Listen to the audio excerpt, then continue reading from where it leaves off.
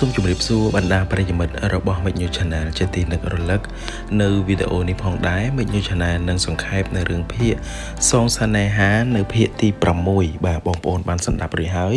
ពីភាគទី1នៅភាគទី5ថាមានអ្វីកើតឡើងខ្លះបាទដូច្នេះដើម្បីកុំឲ្យខាតពេលយូរសូមមកស្ដាប់ការសង្ខេបនៅភាគទី6ទាំងអស់គ្នាថាតើមានអ្វីកើតឡើងបន្តទៀតរវាងភីឡាត់ឡាក់ហើយនិងឌឿនយ៉ាតបាទសូមស្ដាប់ទាំងអស់គ្នា លោកពិយបុត្រមានការសប្បាយចិត្តយ៉ាងខ្លាំងនៅពេលដែលបានក្លាយទៅជាតួឯកប្រុសនៅក្នុងរឿងភាគរបស់លោកវ៉ារីតបាទហើយបន្តមកទៀតលោកពិយបុត្រនឹងក៏បានមកអរគុណដល់លោកវ៉ារីតដែលផ្ដល់ឱកាសឲ្យខ្លួននឹងបានសម្ដែងរឿងភាគជាលើកទី1បាទលើកដំបូងហើយបានធ្វើជាតួឯកប្រុសទៀតសម្ដែងជាមួយនឹងឌឿនយ៉ាតផ្ទាល់តែម្ដងបាទគឺជាមនុស្សស្រីម្នាក់ដែលគាត់លួចស្រឡាញ់បាទហើយចំណែកឯវេវជាអ្នក គ្រប់គ្រងទៅលើឌឿនយ៉ាតក៏បានសុំឲ្យឌឿនយ៉ាតនឹងមកសមនៅរឿងថ្មីបាទដើម្បីត្រៀមនឹងចូលឆាកសម្ដែងប៉ុន្តែឌឿនយ៉ាតមិនព្រមទៅសមទេហើយធ្វើឲ្យលោកស្រីវេវនឹងមានការពិបាកចិត្តយ៉ាងខ្លាំងហើយក៏បានទៅសុំអង្វរឲ្យភីឡាត់ឡាក់នឹងទៅធ្វើការជំនួសបងស្រីរបស់ខ្លួននឹងម្ដងទៀតផងដែរ នៅឯការមកធ្វើការងារជំនួសបងស្រីម្ដងនេះមិនមែនជាការងាយស្រួលដូចជាការគិតនោះទេបាទនៅពេលដែលលោកសុងឆាយគឺគាត់បានគិតថាម្នាក់ដែលថាត្រូវមកសមនោះគឺត្រូវតែឌឿនយ៉ាតបាទរហូតដល់កើតមានការ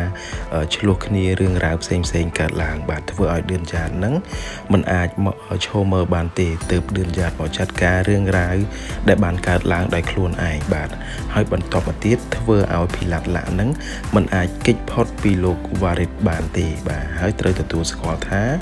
អឺឌឿននិយាយទៅភីឡាត់ឡាក់នឹងធ្លាប់មកធ្វើការជំនួសបងស្រីបាទដូច្នេះភីឡាត់ឡាក់ត្រូវទទួលស្គាល់ការពិតថាខ្លួនពិតជាបាន មកធ្វើការជំនួសបងស្រីមែនបាទគឺវ៉ារីតចាប់បាន បន្តមកទៀតលោកវ៉ារីតដោយភាពស្រឡាញ់និងភាពមានឲ្យមនោសញ្ចេតនាទៅលើភីឡាត់ឡាក់ទើបបានហៅភីឡាត់ឡាក់ហ្នឹងឲ្យមកនិយាយទៅមកសញ្ញេកាយឯកសារផ្សេងផ្សេងដែលតកតងនឹងការងារដែលនាងធ្វើជំនួសបងស្រីបាទហើយនៅពេលដែលភីឡាត់ឡាក់មកជួបជាមួយនឹងលោកវ៉ារីតក៏បានជួបជាមួយនឹងគ្រីសដែលជាអតីតសង្សារចាស់របស់លោកវ៉ារីតបាទដែលគ្រីសហ្នឹងគឺគាត់ត្រូវ បានបែកបាក់ជាមួយនឹងលោកវ៉ារីតមកហើយប៉ុន្តែគាត់បានតាំងចិត្តថាគាត់មិនព្រមឲ្យនរណាមកតាក់ទងជាមួយនឹងលោកវ៉ារីតបានទេក្រៅពីរូបគាត់ ចំណែកអ៊ំច័ន្ទដែលជាអ៊ំរបស់ឌឿនយ៉ាតហើយនិងភីឡាត់ឡាក់គឺគាត់មានការខឹងយ៉ាងខ្លាំងទៅលើឌឿនយ៉ាតដែលបាននិយាយអាក្រក់ពីភីឡាត់ឡាក់នៅពីមុខអ្នកកសែតគឺបង្កាច់បង្ខូចឈ្មោះទៅលើភីឡាត់ឡាក់បាទហើយដោយសារតែអ៊ំច័ន្ទគាត់អាណិតទៅលើភីឡាត់ឡាក់ហើយគាត់កាន់ជើងភីឡាត់ឡាក់ហើយក៏មានការឆ្លោះប្រកែកគ្នាសម្លេងខ្លាំងខ្លាំងជាមួយនឹងឌឿនយ៉ាតបាទយ៉ាងខ្លាំងផងដែរបាទការប្រកែកគ្នានឹងរហូតធ្វើឲ្យកើតឧបទ្ទហេតុមួយគឺអ៊ំច័ន្ទក៏បានរអិលជើងធ្លាក់ពីលើជណ្ដើររហូតក៏បានចូលទៅសង្គ្រោះនៅឯក្នុងមន្ទីរពេទ្យផងដែរបាទហើយបន្តមកទៀតអឺ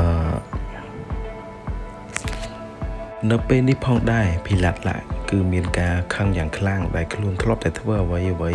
គ្រប់យ៉ាងដើម្បីបងស្រីពីមុនមកបាទហើយនៅពេលនេះផងដែរភីឡាត់ឡាគឺបានខឹងយ៉ាងខ្លាំងហើយគឺគាត់នឹងគឺបានមិនអាចគ្រប់គ្រងអារម្មណ៍របស់គាត់បានទេនៅពេលនេះគាត់ក៏បានទះកំភ្លៀងបងស្រីរបស់ខ្លួនដែលមិនធ្លាប់បាន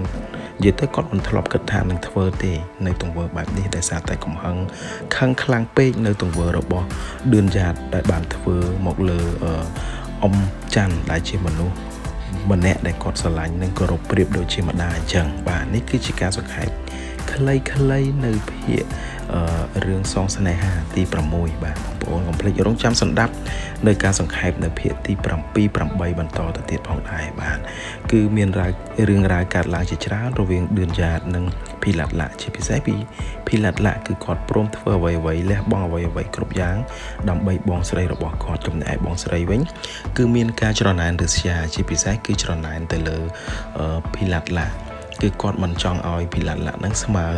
នឹងគាត់ទេបាទដូច្នេះសូមកុំភ្លេចរងចាំសន្ដាប់នៅការសង្ខេបបន្តបន្តផងដែររបស់ Mic New Channel បាទបាទជាចុងក្រោយសូមអរគុណដល់បងប្អូនដែលបានទស្សនានៅវីដេអូមួយនេះសូមកុំភ្លេចចុចនៅប៊ូតុង Subscribe នៅលើ Channel YouTube មិញយូ Channel រួចចុចរូបកណ្ដឹងដើម្បីទទួលបាននៅវីដេអូថ្មីៗជាបន្តបន្តផងដែរអរគុណខ្លាំងណាស់រាល់ការចំណាយពេលវេលាដ៏មានតម្លៃទស្សនានៅវីដេអូមួយនេះហើយក៏សូមខន្តិតីអភ័យទោសរាល់ការនិយាយផងដែរបាទជាពិសេសទៅទៀតនោះសូមកុំភ្លេចជួយចុច like និងចុច share ឲ្យបានច្រើនច្រើននៅវីដេអូមួយនេះដើម្បីចែករំលែកទៅដល់អ្នកនិយមស្នេហាភាគថៃបោះផងដែរបាទ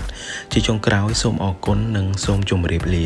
ជួបគ្នានៅវីដេអូក្រោយៗទៀតរបស់ Mix New Channel ផងដែរបាទបាយបាយ